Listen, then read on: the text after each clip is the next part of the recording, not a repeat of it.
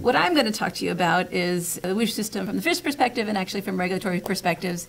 Fish passage has to be and must be safe, timely, efficient, and effective. And that all sounds good, except that nobody really knows what those words mean in real life in terms of how does it apply to fish passage. You know, we've broken it down um, with some agreements, uh, you know, across agencies and what have you, that you know, safe can be looked at in terms of survival, reproduction, injury, behavior, disease transmission. Timely and efficient can be sort of uh, evaluated with respect to volitional entry or selective passage, passage times, ener energy reserves, travel time and distance, and then effectiveness can be you know, considered in terms of allowing migration and homing and, and natural fish response. And then we, we put in there also the durability of the system.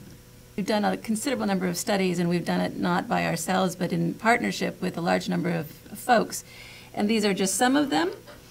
We have a lot of expertise with respect to engineering and, and other aspects, but all of these folks have expertise with respect to fish and, and, and other places that are, are relevant to the fish passage. And this is just a map of the U.S. showing where some of these studies have taken place. We're going to look at different components from, from different studies and, and how they can be sort of teased out of a study so we can say something about these aspects. We go through a couple of studies that will look at all of the things that are sort of highlighted in white there with sur survival and energy and distance. It was a head-to-head. It was the only time we've had the opportunity to look at Whooshh fish passage over a dam versus fish swimming up a ladder. And it, it was a wonderful time to do a head-to-head. And what we found was that the median time that the fish swam up that last bit of the ladder was nearly three hours. But in contrast, the Whooshh tube uh, took really through the tube only about eight seconds. And the fish had to recover from anesthesia from the treatment of, of putting the tag in. We had anesthetized the fish. So that took about two, almost two and a half minutes for that to happen, for them to wake up enough for them to go through the tube. So you can see we're, look, we're talking about hours versus seconds, not even minutes, but seconds to, to get to the same place. And what that meant in terms of the fish afterwards was significant. And these were significant findings, so that the benefit, it seems, of, of even just saving 15 and a half feet of vertical swim through a ladder was that they had more energy reserves to get upstream farther faster. And that allows them to get to cooler water, potentially getting to spawn, um, spawning habitat and, and being more successful. Of those fish that we just talked about that we let go and move upriver, we followed them then to see really the advantage of, of, of saving that energy and how fast they went. And this is just a, a, quick series of slides that you should be able to see. The green fish are the Whooshh fish, and the purple fish are the those that went up the, the ladder. And you can see how they progress much more rapidly and make their way further faster, just to emphasize that point. So all the fish did the entire ladder, but our fish, or the Whooshh fish, got a, a little uh, additional Whooshh ride. And so the, the point of this study was to show that just because they had this, this little amusement park ride, in a sense, we didn't do anything that would uh, impact their ability to migrate or home or introduce disease issues or what have you. And what we find is that the groups basically behave the same, which is what we would expect. Going through the Whooshh tube had no impact on their survival, their migration time, their passage time, their homing, their disease transmission, or their behavior. They reached each of the dams at about the same percentage of fish and at about the same time. Again, because there were two populations, we had a, maybe not quite a completely equal distribution between the Whooshh fish, which were the uh, on the bottom row here, versus the uh, fish that were uh, did not take the Whooshh 100 foot trip. So that's why the percentages at say Rocky Reach and, and Wells are a little bit different because different populations of fish were going different directions.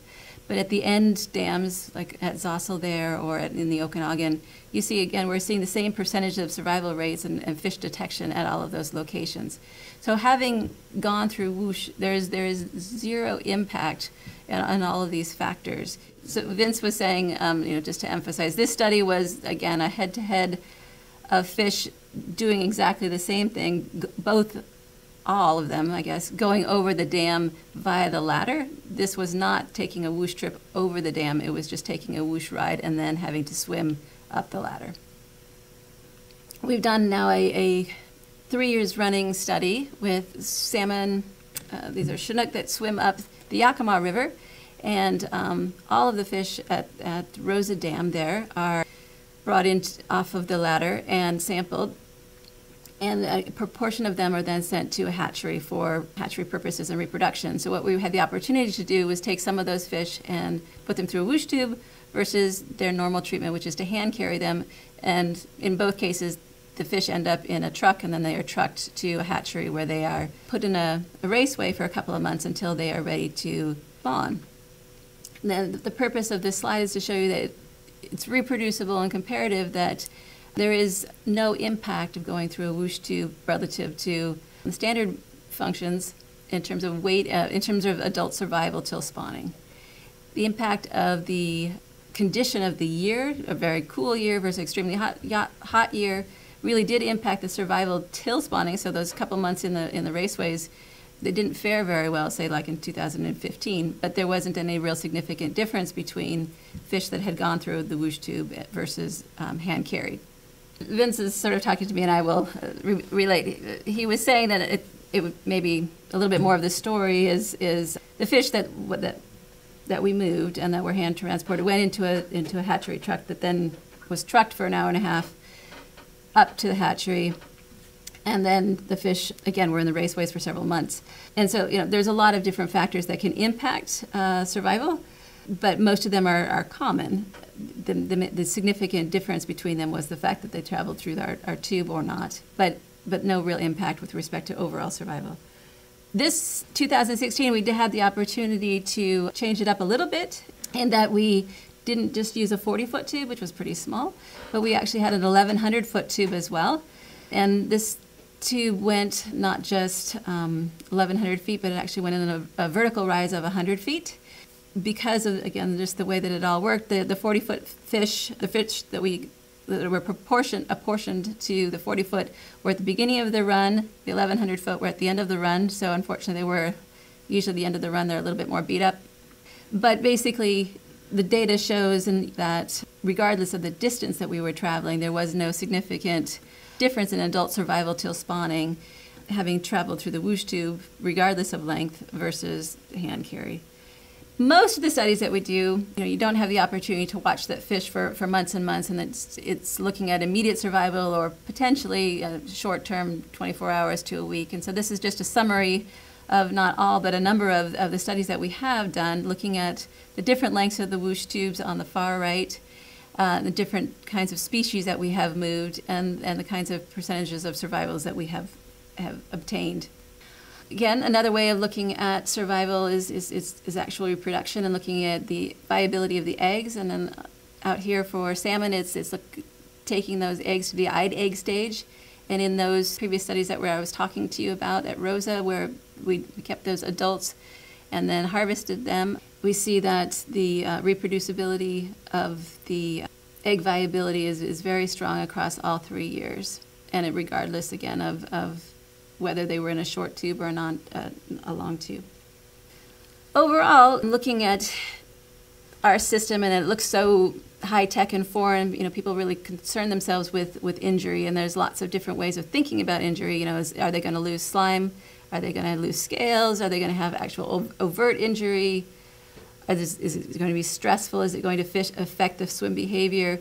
We've had a number of groups, independent parties, uh, Pacific Northwest National Laboratories, SINTEF in, New, in Norway, HDR did a study with Shad in Maine, all of them looking at these various aspects of fish health, basically. And we, they found, all of them concluded that, that going through the Whooshh system did not impact the swim, did not, there was no evidence of stress, no evidence of, of damage in any way to the epithelium or the slime or the scales. Fish were not confused. So there are to date no direct associated Whooshh passage injuries when the, when the system is fully operational and functional. These are just a little bit of data, and I won't go through it particularly in detail here, but Uh, the pool and weir the, the, at Mud Mountain is the way the fish just jumped themselves up and then entered. We did have a bar grate that allows only selective entry into that pool, so Chinook couldn't enter, and it allowed just the, the pinks, the smaller salmon, to enter, and we moved approximately 500 fish through that system. Ringold this last fall was the Alaska Way Deep Pass. The fish swam up through that and, and then were sorted with the scanning system and moved, if they were the right size, to the, to the pool. We had about 230 of those move that direction and the steelhead that were primarily the smaller ones were moved into the bypass, which was, and then they were actually returned back to the river. We could actually position ourselves into a place where the fish actually are naturally congregating and the attraction is, is there. That's maybe not where you're getting the outflow of, of the dam itself to confuse the fish and that kind of thing. So there's, there's versatility that we have, but our expertise is in, in de designing that entry, but we, we work with other partners in, in trying to adapt to the system and the place. The Cle Elum project really was going to be a wonderful opportunity for us to look at true volitional entry. They were supposed to be native returning sockeye that were going to swim up the river.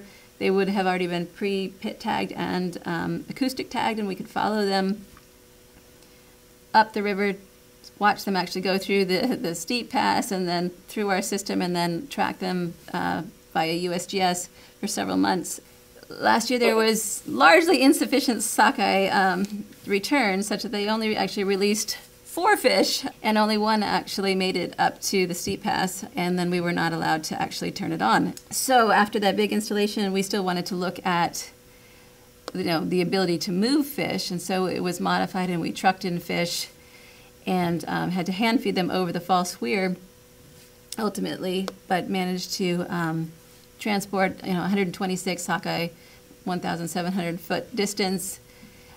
Ultimately, it was about 180 foot rise because we had to actually go up and over not just the dam crest, but over the road on the dam. And the mean time of those fish traveling was about 57 seconds. So it was the first time that fish have gone over that dam in about 100 years. And so it was a huge, huge feat and a, a wonderful way of proving that we can do all of these things. And we would love to be able to do that ultimately totally volitionally, but we did not have that opportunity at that site last year. Part of, of our challenge in terms of presenting this to the world is, is we look so high tech and so maybe so shiny that it, it's hard for some folks to put their head around. You know, they think out of water, which I think we've described that we're not completely out of water, but and we and we move fish very very fast but not too fast because they swim right away afterwards. What looks so high tech and, and shiny and, and it's hard for pe people like to think of fish in water and swimming through a nice little stream and, and, and so the, the, the, you know there is this sort of grassroots desire to stay in this this native natural fishways and there's nothing wrong with those except that sometimes it's not the best solution but from the fish perspective they come over this false weir that you can see in this diagram and then they start to you know, they get partially dewatered and they're on an angle and they just slide. And in about one and a half to two seconds, they have slid through the scanning hood. They have gone through a sorting gate that they didn't even know was open or closed. They slid into an accelerated, and then they're in the tube. And they have not stopped at all. They've just slid. So the amount of time that it takes for you to like accidentally turn off the light and then, then go back and turn it back on, the fish is up and in the tube. And so this is just to show you a number of different uh, species and the number of species in these different studies that we've moved, the different ends, the different tube sizes, distances, heights that we've gone, and how long it's taken us. So 1,700 feet, 57 seconds, but you know, something that's 250 feet, it's, it's 13 seconds in the tube and they're done and they're out. And, and, and, the, and the fish move on fine and they're safe and happy. All right, lastly, I think is just to comment on the durability, and that's what uh, Jim had talked to a little as well.